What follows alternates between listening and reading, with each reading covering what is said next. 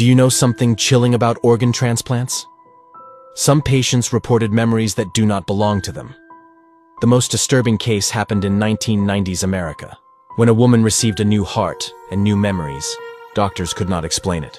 Researchers called it cellular memory, and it became one of the most mysterious medical incidents ever recorded. 1995, Phoenix, Arizona. Claire Sylvia was 52 years old and fighting for her life. A rare lung and heart disease was killing her. Doctors told her a transplant was her only chance. She agreed. A helicopter arrived with a donor heart from a young man who died in a motorcycle crash. Claire did not know his name. She only knew she would live because he died. Three days after surgery, something strange began. Claire woke up craving food she never liked. Chicken nuggets, beer, green peppers. She was a healthy eater, a dancer, a woman who hated junk food. But now her body demanded it. Nurses laughed and said it was medication.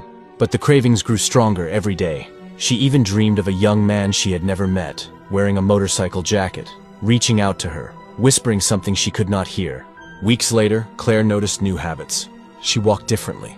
She preferred different music.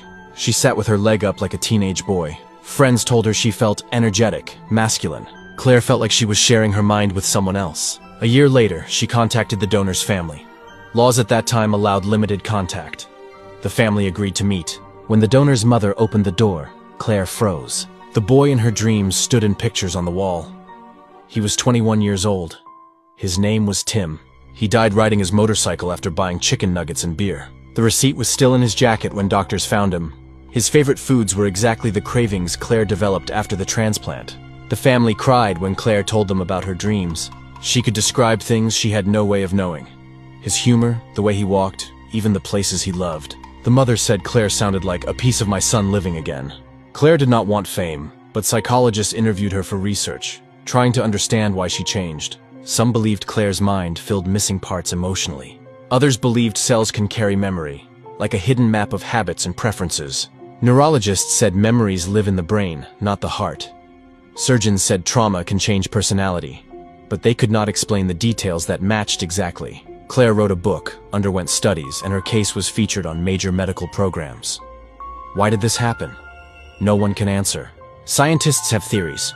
Emotional energy stored in neurons within the heart, subconscious adaptation, or a psychological merge between life and death. But nothing proves or disproves it. To this day, doctors admit the incident remains unexplained. Claire lived years with her new heart, always feeling a presence beside her. Not a ghost, but a memory that was not her.